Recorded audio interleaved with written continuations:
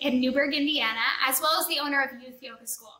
I'm glad you've tuned in today for today's yoga story. So I'm so glad to meet you and do some yoga with you today.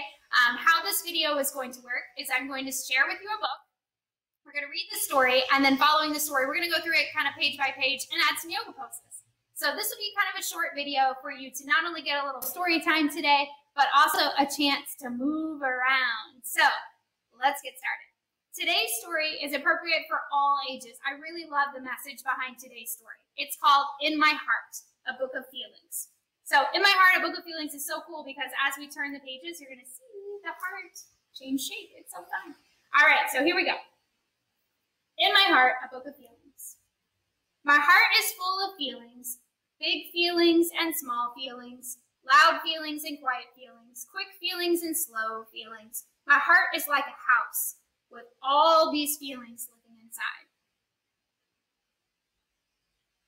Sometimes my heart feels like a big yellow star, shiny and bright. I smile from ear to ear, twirl around so fast I feel as if I could take off into the sky. This is when my heart is happy. Other times my heart feels strong. I stand up tall as if I could touch the clouds. New people and places don't frighten me. I can do it. Watch me go. This is when my heart is brave. When I get really angry, my heart feels as if it's going to explode. Don't come near me. My heart is yelling, hot and loud. This is when my heart is mad. But other times, my heart is cool. I bob along gently like a balloon on a string. My heart feels lazy and slow, as quiet as a snowfall. This is when my heart is calm. On harder days, mean words hurt my feelings, and my heart feels hurt too. It's fragile and delicate, but it can be healed with extra kisses. This is when my heart is broken. Some days my heart feels as heavy as an elephant. There's a dark cloud over my head, and tears fall like rain. This is when my heart is sad. But my heart doesn't stay sad. Like springtime after winter, the sun comes out again. My heart grows tall like a plant reaching towards the sky. This is when my heart is hopeful. Eek! When I see something scary, my heart beats fast. I feel cold as if a chilly breeze has crawled up my neck. I run away as fast as I can. This is when my When it's time for a bit of fun, my heart feels full of giggles and wiggles. Abracadabra! I hop around like a bouncy bunny. This is when my heart feels silly. Sometimes I hide my heart away where no one else can see, like my own small treasure. I don't want anyone to look at me. Safe in my swing, I can watch the world from above. This is when my heart feels shy. My heart can feel so many feelings, and yours can too. Today, my heart is proud. How does your heart feel? Take a moment, and if you're with your mom or dad or grandma or whoever you're watching this video with, just turn to them and tell them how your heart feels. Always. Yeah, our hearts can feel so many amazing emotions, can't they? Sometimes they're really happy and joyful, and sometimes, you know, they're not. And that's okay too. But today, when we go through our book, let's add some yoga to it. Yeah? All right. So the very first page, she talked about feeling like a house. Do you remember that? Okay, it says, My heart is full of feelings, big and small. And sometimes my heart is like a house. Hmm. How could we make our hearts look like a house? Ooh, that's a good one. We could reach our hands up above our head and make a house above our head. Or we could make a house right here at our heart. Take a big breath in through your nose like you're smelling a flower. And blow it away. Good, nice, good breathing. So my heart is like a house. The next page of the story, what does she say her heart feels like? A big yellow star. This one we're going to stand up for. All right, let's see if we can stand up. Move yourself either to a yoga mat or just on your floor. Stretch your arms out really wide. Maybe make your feet go wide as well. Make your bodies look like a yellow star. Take a big breath in, reach those hands wide. Exhale, let your hands fall down. Try it again. Big breath, star breath. Exhale, let it fall. This time our hands are gonna reach out. Big breath, reach them up. Now let them fall. Let's go again. Big breath, stretch real wide, and then let them fall. Our heart is like a star. So, so far we've got house or a house, and we've got star. Can you make both those poses? House or star. Good. All right, let's see what the next page of our book says. So when we look at our book, the next page talked about riding up in an air balloon. You know, one of my favorite breaths is balloon breath. So maybe we come to a squat or onto our knees. We take our hands up big and make a balloon above our head, and then exhale, let it float back down. Big, make a balloon above your head. Exhale, let it float back down. So good. Let's see what the next page says.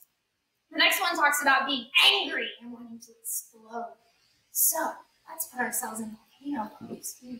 Hands come into the heart. Rub those hands together. Squatting down in a big ball. We're going to go three, two, one. You're going to jump straight up in the air and explode your body really wide. Okay? Three, two, one. Oh, let's try that again. Rub those hands together. Make them really, really hot. Make them really, really hot. Squat down. Look like me. Knees bent. Three, two, one.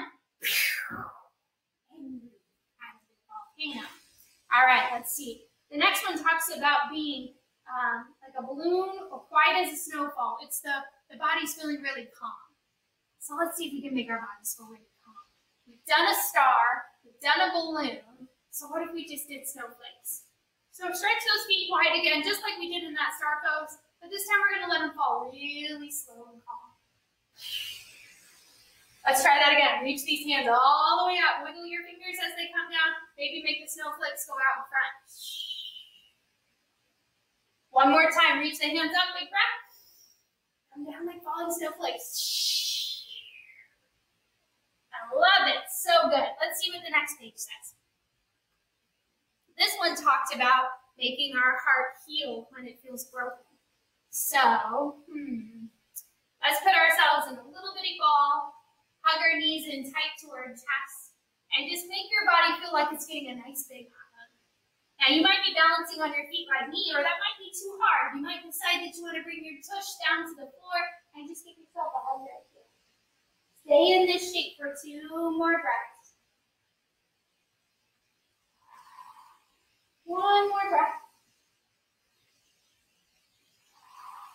All right, let's see what the next page of our book is all about. You guys are doing so good. These are so fun. Ooh, elephant. Remember this one? This is feeling sad and the tears fall like rain and she feels heavy like an elephant. I'm going to get onto my knees. I'm going to make an elephant trunk with my hands. Big breath. I'm going to sweep up the water and spit it right over my head. So big breath and spit it out. Maybe even take your elephant trunk and you swing it a little bit side to side here. How fun is this? Make your elephant trunk move around. Some of you might even decide that you want your elephants to have feet and hands and really move. Oh, oh my goodness, your poses are so awesome. These are so great. Should we see what the next page is? All right, come back, come back. Make sure you're listening. All right, here we go. The next page talks about springtime. Ooh, and we're watering flowers. See her watering can? I think that would be a perfect thing to do for this one. Let's water the flowers. So stand up really tall, give yourself handle on your water can, spread your feet a little bit apart, put your other hand out to the side. Now this hand that's out to the side, see if you can turn those toes to go the same way. So look at my toes, look at my hand, we want those two to match. Now we're gonna reach out to the side and then just pour, pour this water down towards your toes, like you're watering some flowers growing down there on the earth.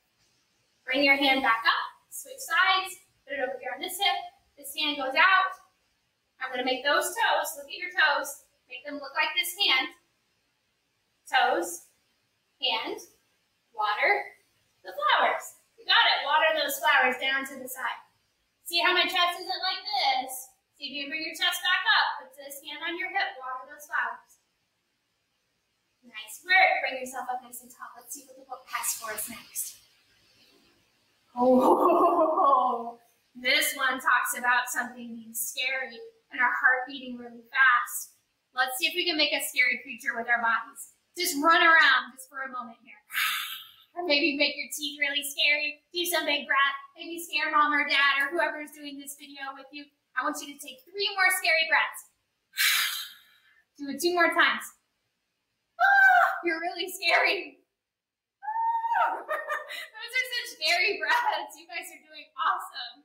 Okay, let's try this last one.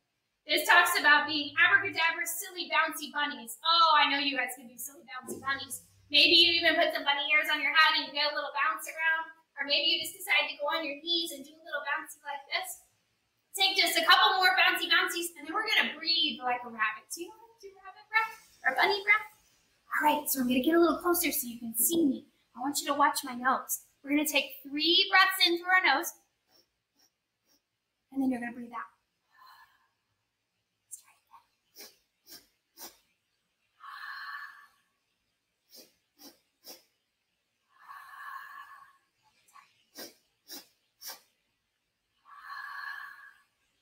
even though you were wild and crazy with your scary animal and your bouncy bunny, you can take that bunny breath as an easy way to calm us back down. Let's try it again.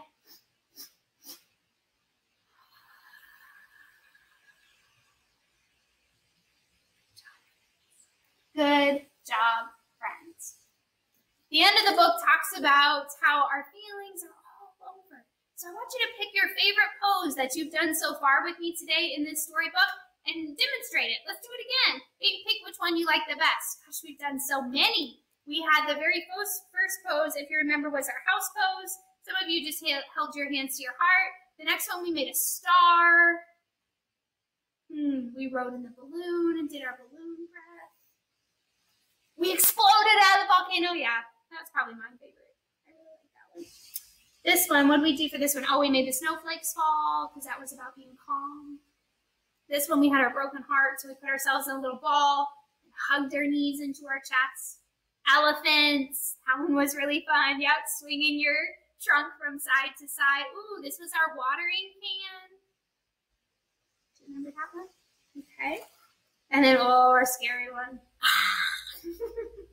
and then our bunny one. And then we skipped being shy because and this one we did as our last feeling. This was our favorite pose. So again, here is the storybook that we read from today, In My Heart. I know that they have this at our local library. I'm sure they have it at yours as well.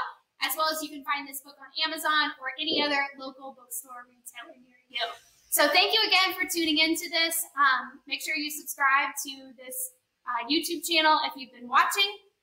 And um, make sure you follow us on Instagram, Facebook, Youth Yoga School, as well as Sift Yoga. So we offer Sift Yoga offers family yoga events um, at our studio, as well as youth yoga events each month.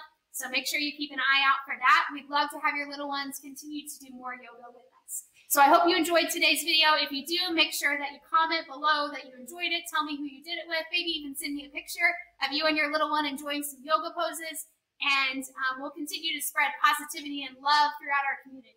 Thank you guys for tuning in. Have a wonderful, wonderful rest of your day. And if you would just repeat after me, I will be kind to myself and I will be kind to others.